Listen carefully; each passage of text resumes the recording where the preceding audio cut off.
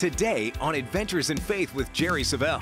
No matter how deep, how dark, how bad that thing is that you did, and that shame that you've been walking around in, that you can be free from it, free from it once and for all, because I know I don't look like a girl that walks in shame anymore, and you can have that same freedom in your life.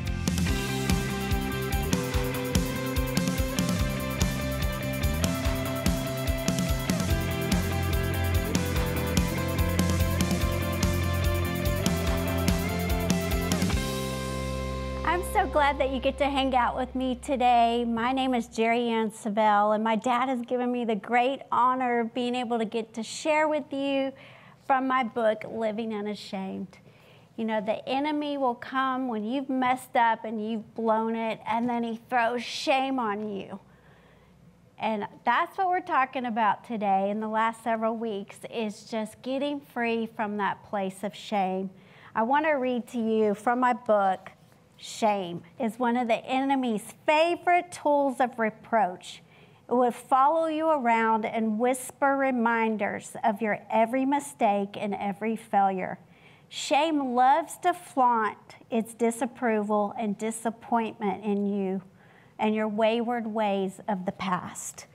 I lived there. I know what that's like. You know, people, you can see it on their demeanor and on their face and on their countenance and the way they carry themselves and hold themselves. And today we're going to be talking from the book, chapters three and four. Come right in, and I'll tell you what that means in just a minute, and lift your head. There was a time in my life when I was so embarrassed to go out. I stayed in my house for a lot of years, too embarrassed to go out. But I remember one time I had to go in the grocery store, and at the time where I lived, it was near, uh, I knew a lot of people, and those people knew what I had done, and they knew the sin that I had committed. And going in the grocery store for me was a hard place to go because I knew I was going to run into somebody. And oftentimes, when you're in shame, you don't want to make eye contact with anybody. And I remember like pushing my cart and, and trying to keep my eyes down and, and not make eye contact with anybody. And of course, I would run into somebody.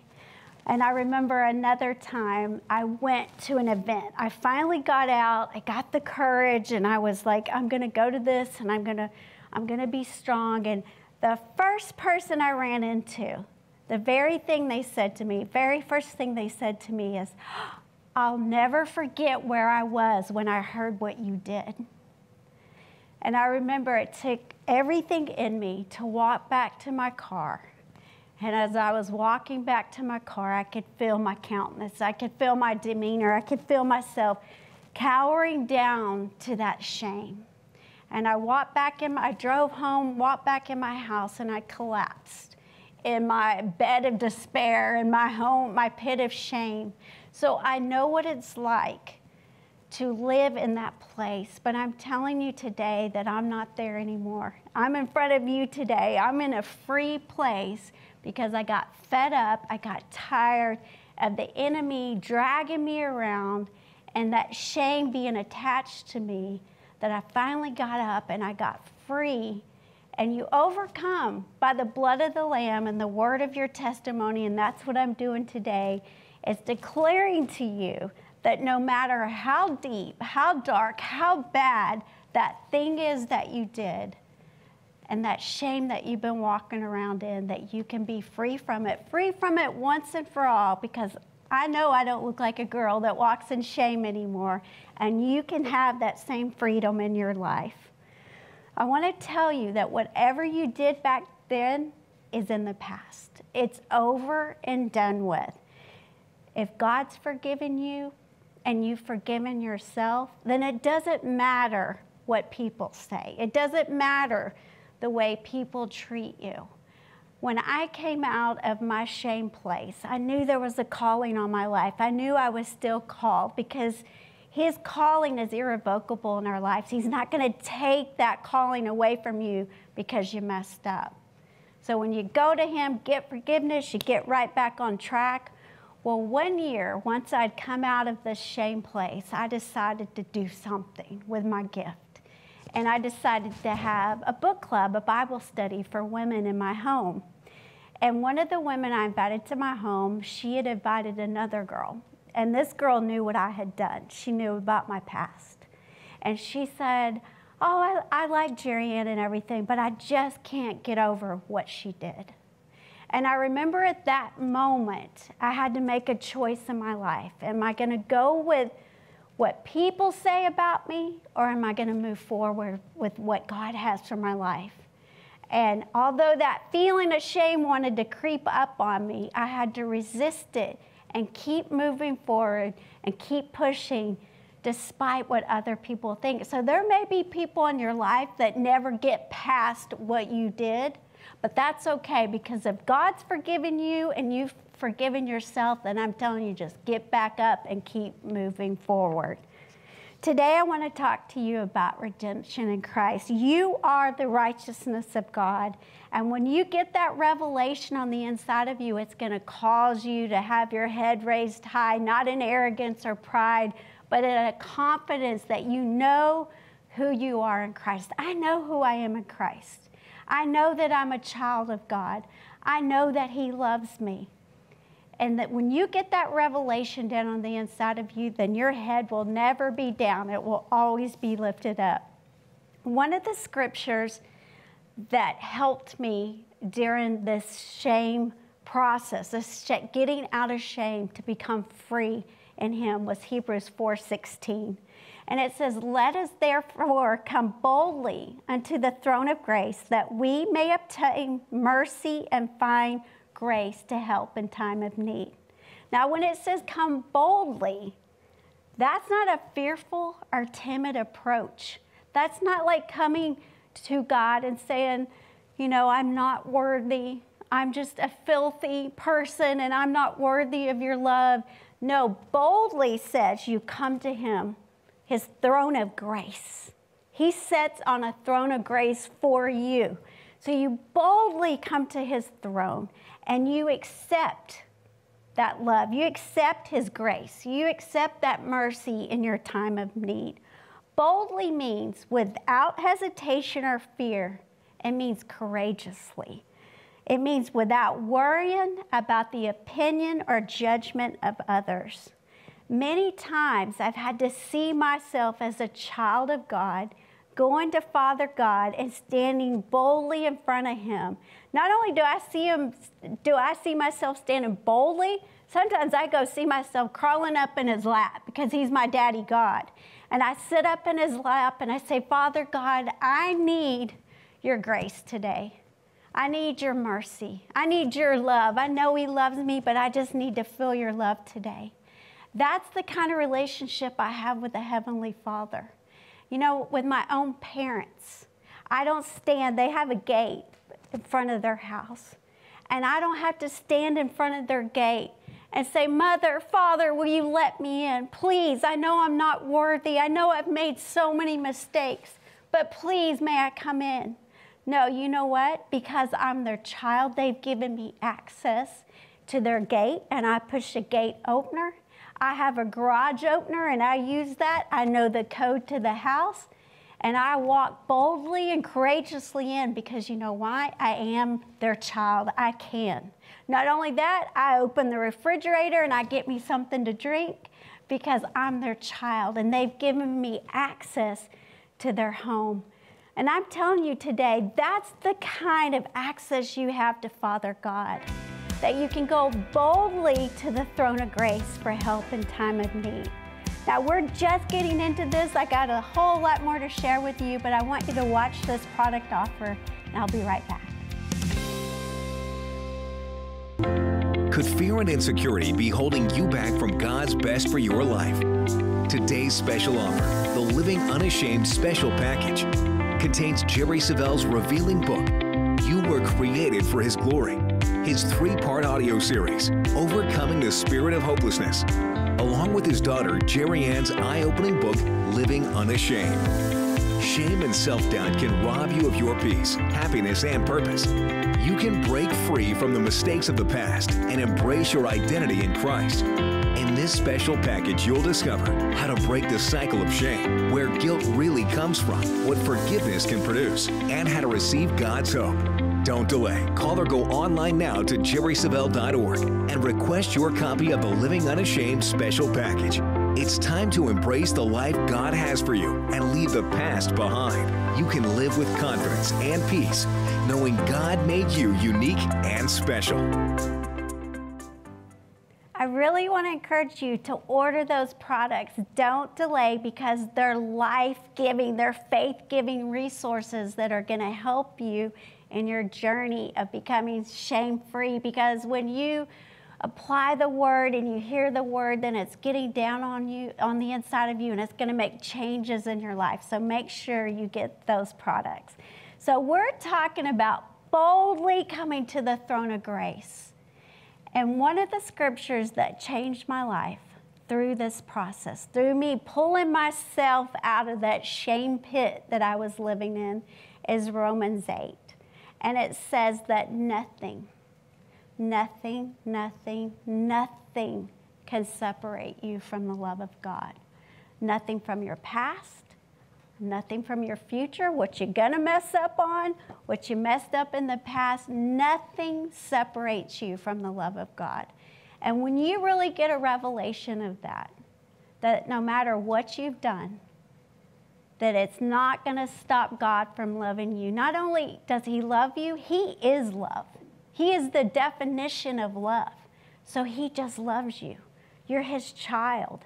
So when you get a revelation of that, and that's just light going off on the inside of you, and you go, wow, God really does love me, then nothing from your past can separate you from that love. Nothing that you've done, nothing that you've been through can separate you from knowing that God loves me. Psalms 3 3. It says, But thou, O Lord, art a shield for me, my glory and the lifter of my head. See, shame wants your head down. But when you get a revelation of the Father and His love for you, then your head is going to be lifted up. That's the kind of love that lifts your head up. Psalms 34 5 in the message, it says, You'll never wear that shame face again. See this face right here? There's no shame on that face because I gave it to God. All that shame, I gave it to Him. He took that from me because He loves me and He lifted my head. And He can do the same for you. He can lift your head with confidence because you know that you're loved by God. He will never shame you, He'll never condemn you. He just loves you. When I get around my parents to this day, they don't remind me of what I did back in 2007. They don't bring it up every single time they see me. No, we don't talk about it because it's not who I am. It's not a part of me anymore. That I've been free from that. And that's the same with the Heavenly Father. He's not going to bring up what you did back then. I want to tell you that I want to read this story to you. I read this to my dad when the book was first being published. And um, I wanted to read it to him myself, and, and he teared up. And I just want you to see the love of a father. Now, this is my earthly father, but I want you to know that God is so pleased with you. He loves you so much, no matter what. So, this is a story of when I first went to see my dad, you know, shame of anyone recognize me in public had kept me from not going to see him for a long time, preach in person. I would listen to his CDs and I'd watch him on TV, but the shame had paralyzed me and trapped me to my home for a really long time. Well, one day I got up the courage, and I'm just going to read it from here. I would listen to his messages at home through TV, but I was just too embarrassed to ever go to one of his meetings after my major mess up. I decided to drive to Oklahoma, far enough away from my hometown, just in case someone recognized me. I planned to sit in the back and just listen to him. I did not tell him I would be there. All I had ever known my whole life was sitting in church on the front row and listening to my dad preach. I was longing to be in his presence and hear his familiar voice again. I was not only there to hear my favorite preacher, Jerry Savelle, but I was really there just to see my daddy. My sin had separated us for a time, and there was a season that we weren't talking to each other a lot, but I missed him so much. I was relieved when no one in the church recognized me as his daughter. I slipped into my seat. I tried to hide myself, but I could just see enough to look at him through the aisles of people. The little building was packed and the people eager to hear his message. The pastor introduced my dad and he got up to speak. About five minutes into his greeting, he noticed me. His eyes lit up with recognition and joy as he said to the audience, Well, there's my daughter. Back there, he said, Jerry, come up here and sit near me on the front row. As I got up out of my seat and walked to the front, I could feel one more layer of shame falling off of me, layer after layer being removed of that shame. And that story reminded me of the prodigal son. It's talked about in Luke 15. I'm sure you know the story. But the prodigal son went off and splurged all his money and was took his inheritance and was going off doing whatever he wanted to do. Well, one day he found himself eating with the hogs. And he's in the middle of this slop eating with the hogs. And he came to his senses and he said, What am I doing here? My dad's workers live better than I do. I need to go back home and I'll just be a servant to my dad just to get out of this mess. And I love the way it tells the story. It says, So the young man set off for home. From a long distance, his father saw him coming, dressed as a beggar. And great compassion swelled up in his heart for his son who was returning home. So the father raced out to meet him he swept him up in his arms and he hugged him dearly and kissed him over and over with tenderly love. Then the son said, Father, I was wrong. I have sinned against you. I can never deserve to be called your son. Just let me be. And the father interrupted him and said, Son, you're home now. Quick, bring me the best robe, my very own robe, and I will place it on his shoulders. Bring the ring, the seal of sonship, and I will put it on his finger. And bring me the best shoes you can find for my son. Let's prepare a great feast and celebrate. For this beloved son of mine was once dead, but now he's alive again. Once he was lost, but now he's found. And everyone celebrated with overwhelming joy. Wow, what a story. Maybe you've been in that place where you're the prodigal son. Maybe you're there right now.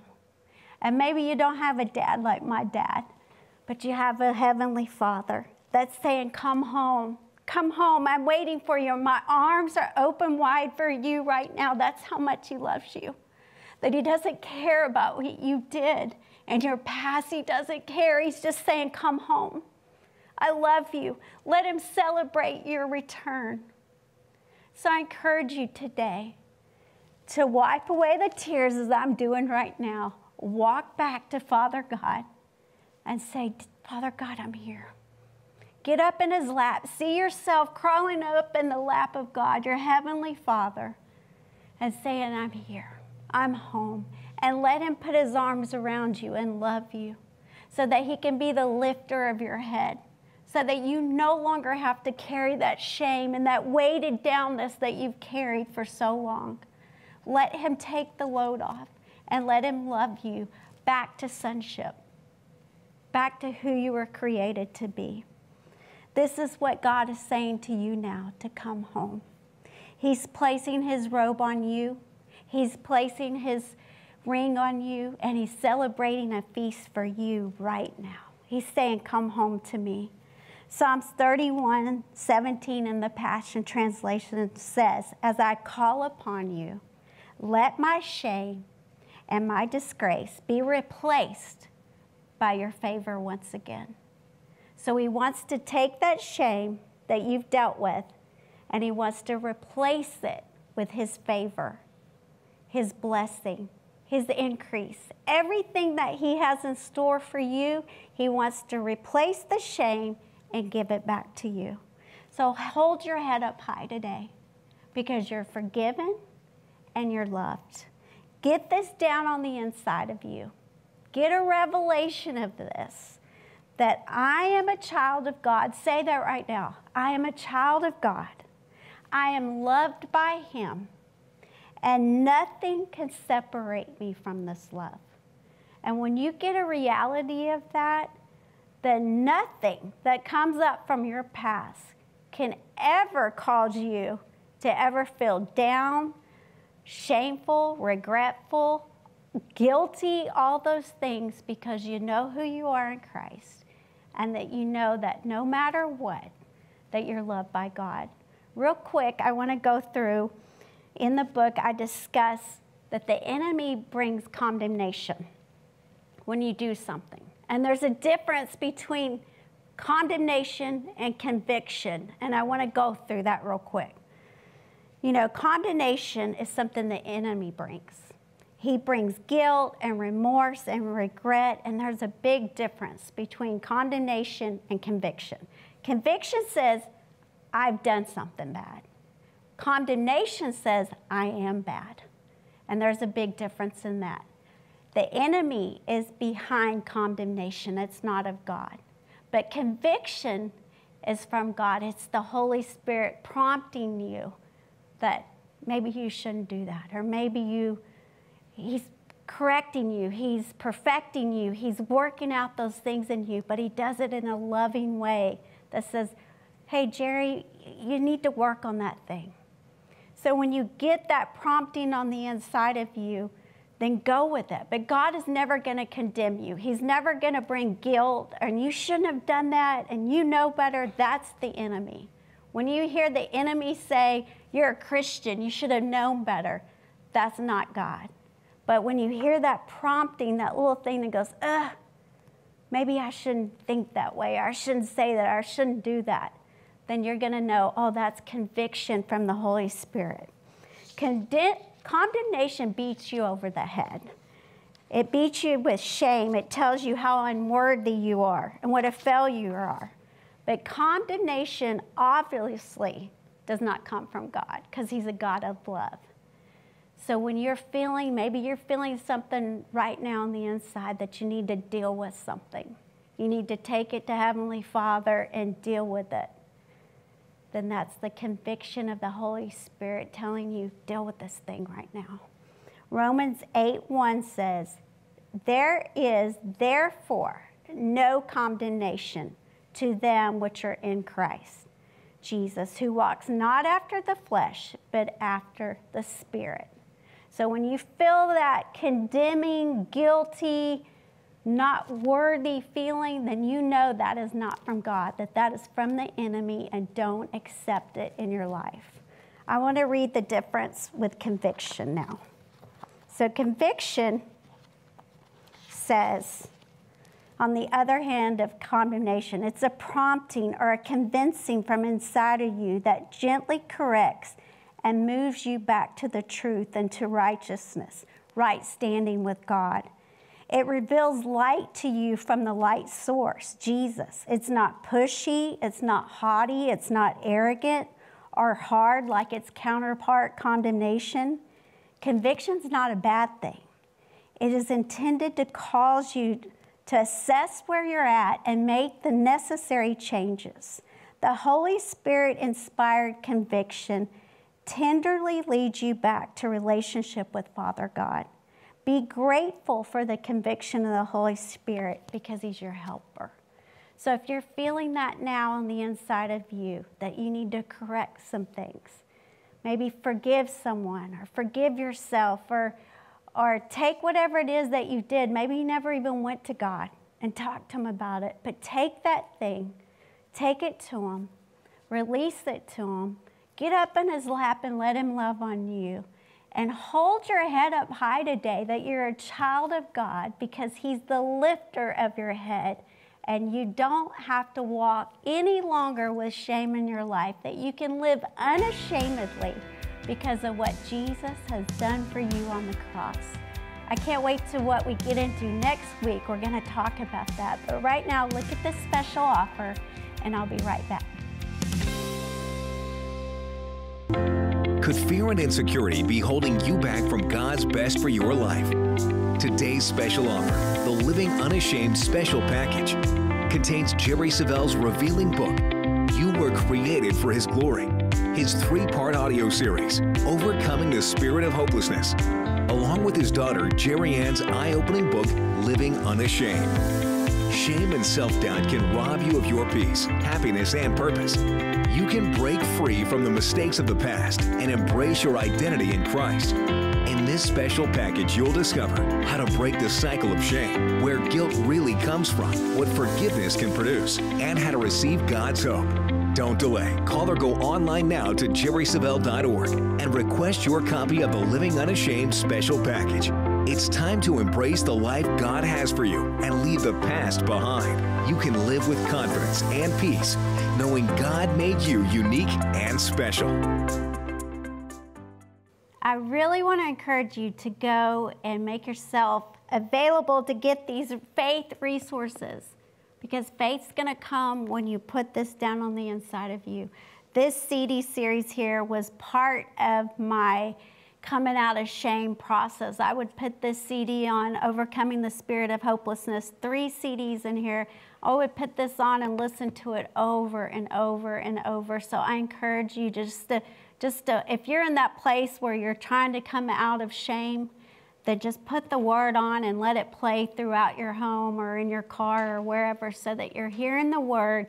It's getting down on the inside of you and it's renewing the way you see yourself. It's renewing your mind.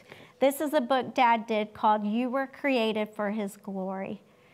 This is my book, Living Unashamed, and I encourage you to get this. This is I'm going through it the last several weeks, but it's more detailed in the book. So go ahead and don't delay. Go to jerrysavelle.org and order those resources now. I'd like to take just a moment and pray for you right now. Don't forget what we've talked about today that Jesus is the lifter of your head, and that when you boldly come to his throne of grace, that he's going to help you in time of need. So I'm praying over you right now that you get a true revelation of the love of God and that you let all of that junk, all of that stuff that you've been dealing with, that you get rid of it, you get free of it, you hand it to Father God, you lay it at His feet, and you let Him love on you today. And you know how wonderful, how special you are to Him, that you're His child and He's well pleased with you. So anything that happened back there is not a part of who you are and where you're going today, that He has an awesome plan for you. That if you got off course, that you can get right back on course doing what He's called you to do with your life. I encourage you, if you haven't watched the other messages, go back and watch them, and you can come back next week and we'll wrap this up on Living Unashamed. Don't delay, go order the products at jerrysavelle.org. I'll see you again next time.